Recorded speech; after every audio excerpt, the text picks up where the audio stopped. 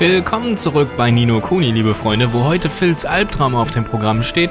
Ja, diese fiese Monster-Moped-Schildkröten-Imitation, die da vorne rumwabert, das ist Phils Albtraum ohne jeden Ehrgeiz.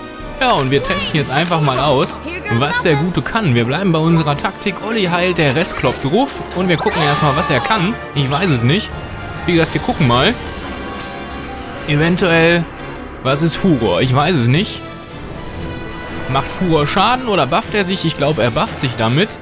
Von daher, oh, da kriegt der Esther mit Lafke den ersten Hit schon reingeknödelt. Da heile ich direkt mal dagegen. Wir machen weiter Attacke. Oh, Gunther, da du aber einen schönen Doppelzwing bekommen. So, jetzt kriege ich Schaden. Da verteidige ich alle. Schauriger Schauer, das klingt so, als ob es wieder auf alle geht. Ich weiß es ja nicht, aber es sieht so aus. Olli hat geblockt. Nein, er geht aus dem Block wieder raus und kassiert den Schaden trotzdem. Ah, das ist nicht so schön. Da muss ich natürlich Sven heilen. Esther kriegt auch Schaden. Da muss ich natürlich direkt noch eine uiuiui lindernde Hand hinterher. Äh, Esther ist tot. Da kam die lindernde Hand nicht mehr durch. Jetzt kriege ich Gunther aufs Maul. Alter Schwede, wie soll ich denn das heilen? Ähm, hallo? Oh Mann, schauriger Schauer. So, ich habe mich und alle verteidigt. Mal gucken, ob ich das heilen kann. Alter, der knüppelt aber ganz schöne Kellen rein. So, Doppelfehlschlag, das ist okay. Jetzt kann ich zaubern, lindernde Hände auf. Ihmchen, ja, Gunther ist tot. Ähm, ich weiß natürlich nicht, Seppo könnte eventuell, pass mal auf, ich nehme mal Seppo, Mann. Seppo, Seppo, Seppo. Alter, hier, nimm mal hier, Alter, genau. Morgensonne. Wir machen Morgensonne. Ich weiß nicht, was Morgensonne ist. Ist es ein Heilzauber oder macht Schaden? Ich weiß es nicht. Ne, es heilt alle. Das ist natürlich nicht so clever gewesen. Ich habe gehofft, das ist ein äh, Schadenzauber. Ist okay, müssen wir uns merken. Seppo hat als Ulti einen Heilspruch. Das ist natürlich nicht so schön. Ich, ach, Gunther lebt ja noch. Ich hätte einfach Gunther nehmen sollen. Ich Dödeldepp. Na, der Kampf läuft natürlich nicht gut. Wie gesagt, ich glaube, ich werde ihn auch nochmal neu starten. Alter Schwede, wenn der reinknödelt mit seinem Doppelhit. Äh, ey, wie soll ich das heilen? Das kann ich nicht heilen. Alter Schwede. Guckt euch das an. 49 mit der Doppel-Swing-Kombo. Das, das, das ist äh, sprachlos. Alter, da komme ich doch nie hinterher. Dass der jetzt überlebt hat, war doch pures Glück, weil er auf mich gewechselt ist. Alter, nee, also... Bin ja ein bisschen sprachlos. Ich überlege gerade, wie man gegen den kämpfen soll. Das Einzige, was mir einfällt, dass ich die Agro permanent auf mich ziehe, dass meine Pets die Agro nicht bekommen. Dann könnte ich dagegen heilen. Das heißt, ich teste mal, ob ich hier mitcasten muss. Äh, was macht denn wie viel Schaden? Feuerball, wie viel Schaden macht der denn? 34 nicht effektiv. Dann haben wir noch eine Eiskälte. Äh, 45 macht auch nicht super viel Schaden. Ja, genau, so stelle ich mir das vor. Ich muss den kiten. Dann können nämlich meine Kollegen draufknattern. 63, ja, das macht ja schon alles mehr Schaden. Aber so effektiv ist es noch nicht. Was haben wir denn hier noch? Eiskälte, Schockwelle, Lichtpfeil. Lichtpfeil klingt gut. Was ist das denn? Alter, ja, das ist natürlich... Das ist eine Hausnummer. Ja, komm, hau mich mal um. Ich muss mit Schaden machen. Ich muss die Agro haben.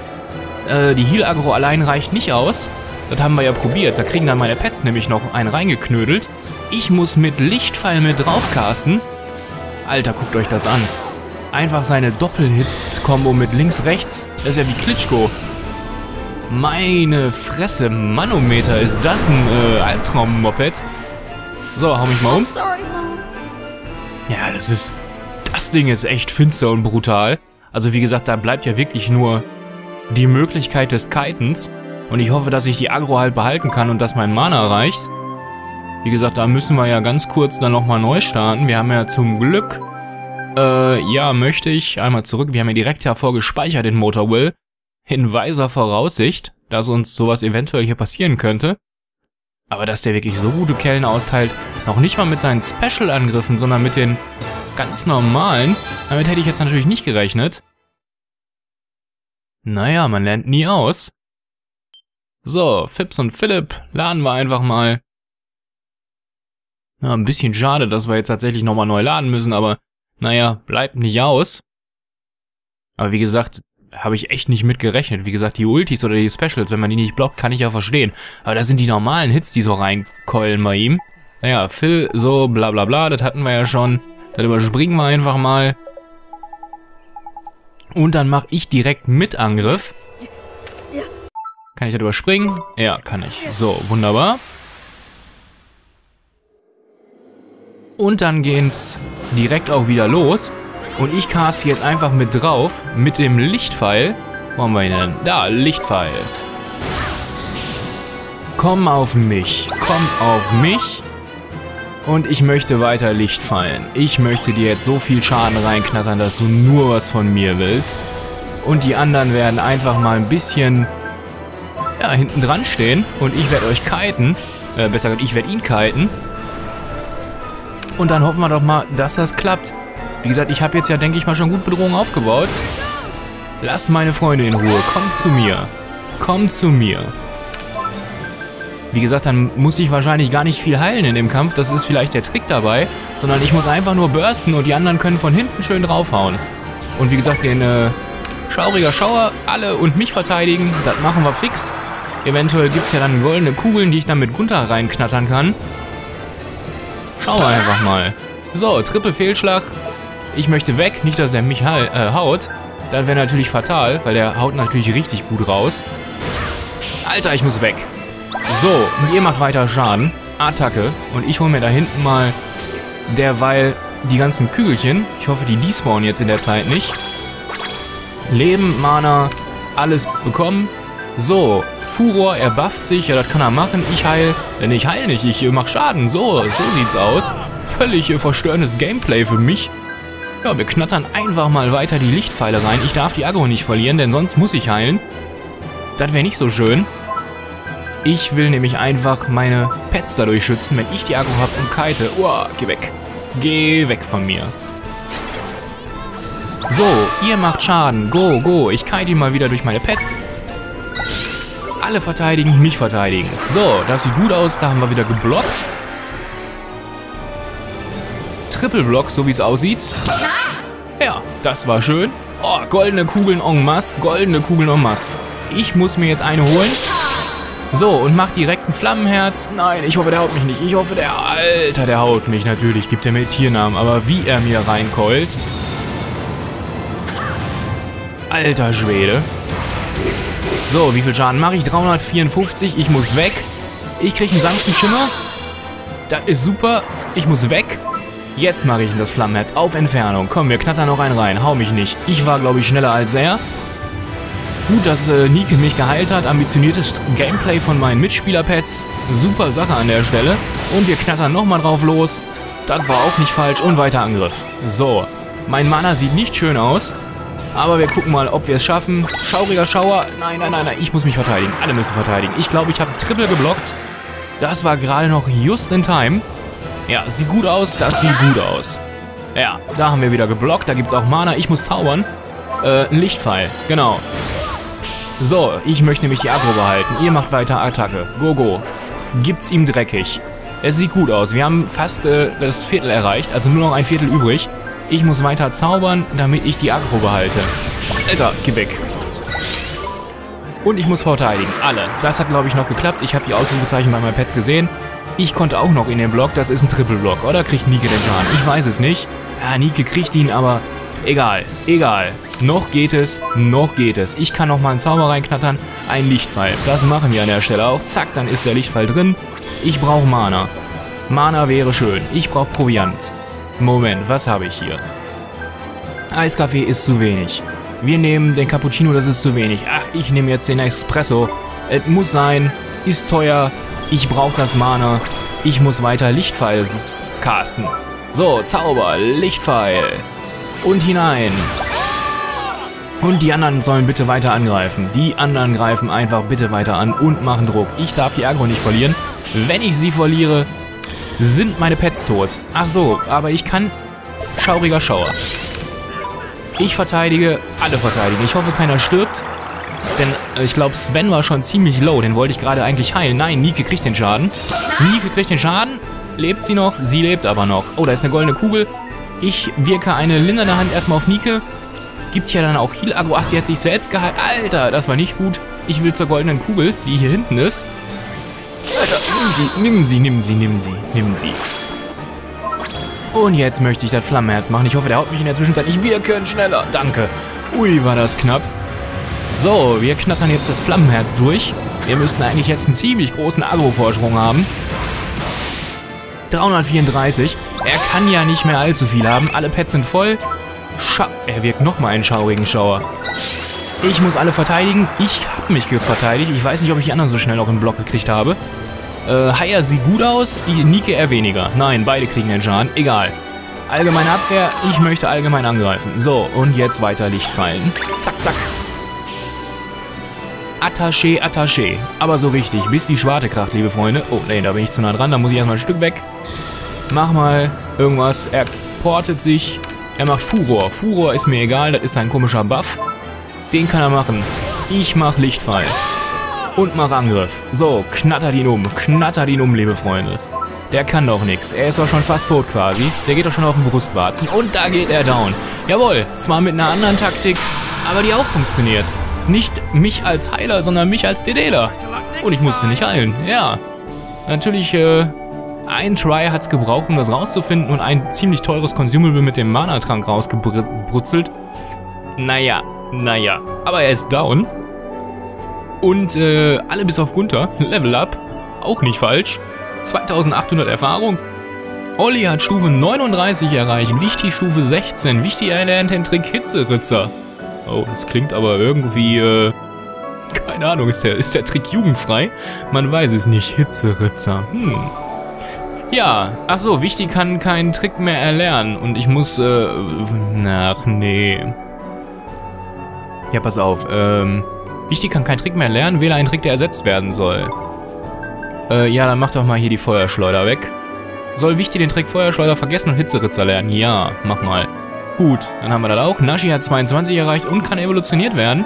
Seppo hat 23 erreicht, Esther 39, Imba 35, Lafke 37, Übernike 29, Sven 38, Schnurri 36, Haya 31. Ja, mein Gott, das lustige Evolutionsspiel hier. So, und Phil ist anscheinend wieder gesund. Alles ist meine Schuld. Ach Gott, der Junge ist immer noch brokenhearted. So, was braucht er denn? Nein, ich hasse dich. Nicht etwa ein Unfall. So. Ach ja, der macht sich Vorwürfe, dass hier Ollis Mama mit seinem Auto umgekommen ist. Aber genauso darf man ja nicht denken. Es hätte immer und zu jeder Zeit passieren können. Ja, was braucht er denn? Er braucht bestimmt wieder irgendwie eine neue Zutat.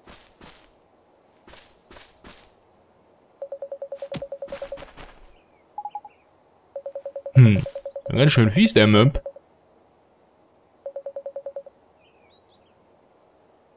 Hm.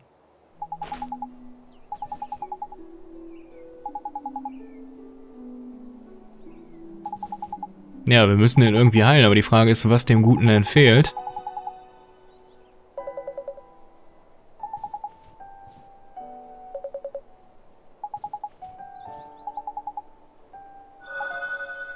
Ach Gott.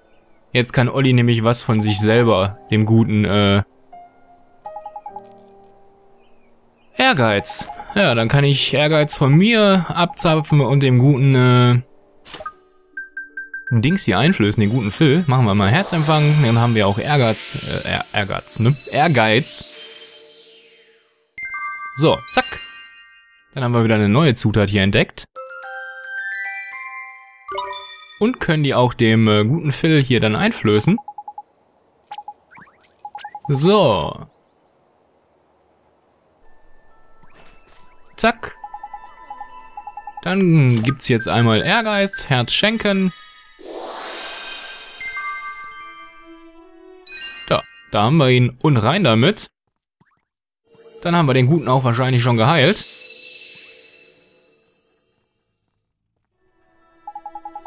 Ja Mensch.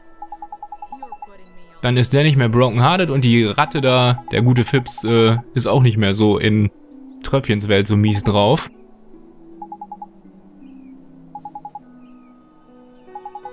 Gut.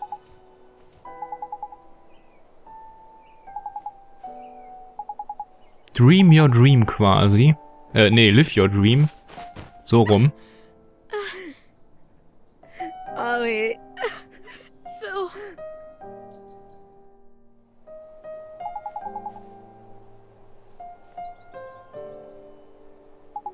Na gut, den haben wir ja wieder heile gemacht. Und er wird der beste Autoingenieur. Sollte sich nur nicht in Bochum ansiedeln.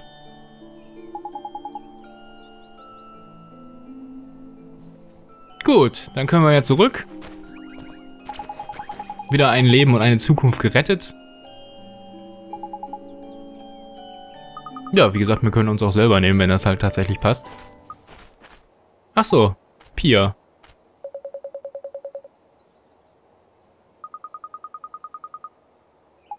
Okay, warum hat die auf mich gewartet? Okay, die sehen die ja natürlich wieder nicht.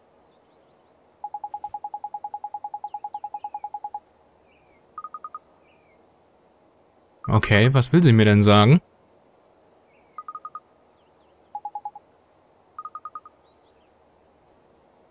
Ja, ich denke mal, dass ich schon damit irgendwie wohl fertig werde.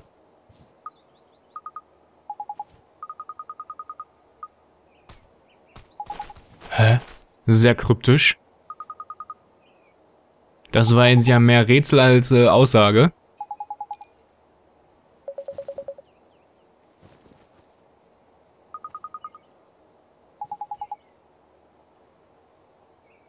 Na gut, dann äh, zurück nach Katzbuckel.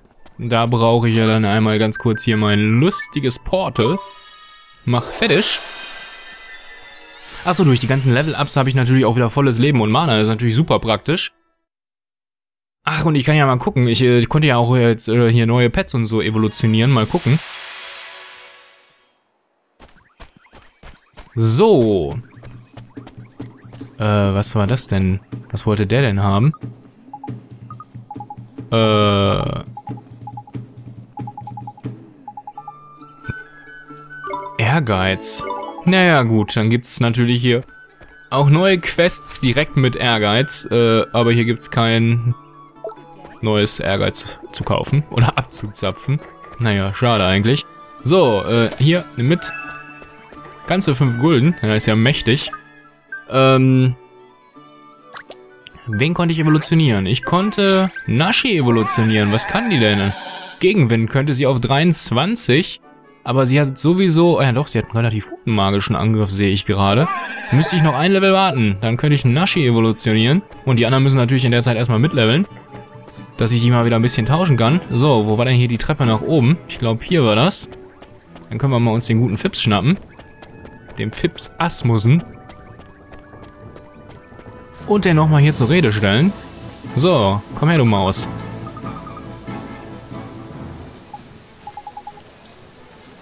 Ah ja, so, sie ist wieder heile und äh, ich möchte jetzt bitte mein Holz zurück.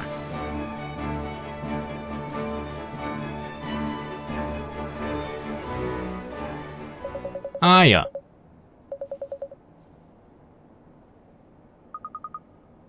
dieses Stück Holz da, das war ich. Ich hab's gestohlen. Ja gut, dann haben wir das ja auch geklärt. Dann gibt dem mal das Geld zurück äh, und wir nehmen dann den Gegenstand. Und alle sind glücklich. Ich erhalte mein heiliges Stück Holz. Toll.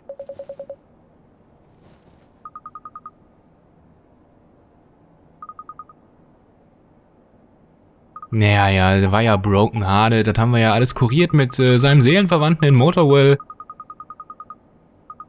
Und, äh, dann ist jetzt der gute Fips auch wieder heile und wird vielleicht eine Mustermaus werden. Ein Vorbild für die ganze Mäusewelt.